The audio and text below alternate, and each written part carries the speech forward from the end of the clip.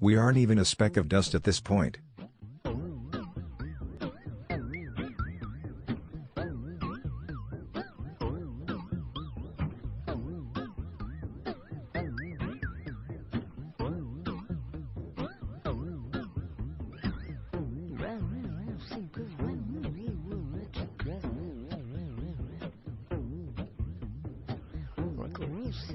so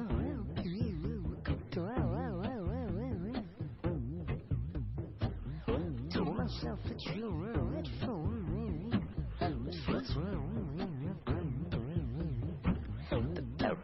real, it's real,